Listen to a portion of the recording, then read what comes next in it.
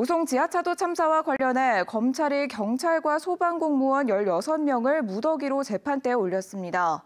주의 의무를 다하지 않은 건 물론 사후 처리에도 문제가 있었다는 이유입니다. 이지현 기자가 보도합니다.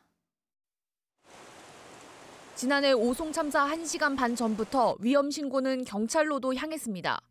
미호천교가 넘치려 한다. 지하차도 통제가 필요하다는 내용이었습니다. 그 시간에 통제를 시켜야 되는데 통제시키는 데가 없으니까 여기까지 들어왔죠. 그러나 경찰은 지하차도가 완전히 잠긴 지 10분이 지나서야 도착했습니다. 이름이 비슷한 인근 다른 지하차도로 출동했다가 돌아오느라 늦었던 겁니다. 그런데도 제대로 도착해 처리한 것처럼 결과를 꾸며 시스템에 입력했습니다. 이를 두고 당시 경찰은 동시다발적으로 신고가 몰렸고 112 지령이 제대로 전달되지 않았다는 등의 해명을 내놨습니다. 그 새벽 시간대 산사태도 있고 해서 지원해줄 순찰차가 마땅치 않았고 오송 참사를 수사한 검찰은 업무상 과실치사상과 허위 공문서 작성 등의 혐의로 관련 경찰관 14명을 무더기 기소했습니다. 전 충북 경찰청장과 전 흥덕 경찰서장 등 지휘관도 포함됐습니다.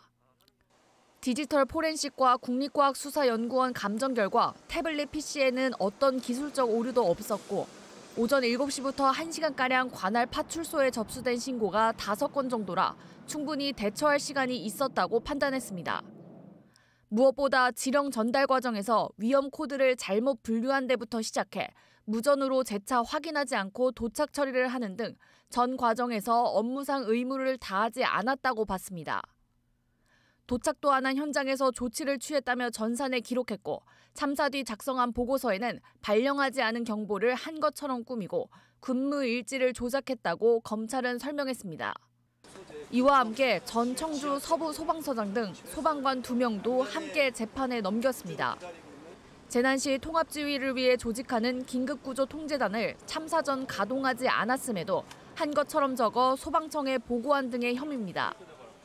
지금까지 검찰 수사본부가 재판에 올린 피고인은 30명, 시공사와 감리단 등 법인 두 곳도 기소했습니다. MBC 뉴스 이지연입니다.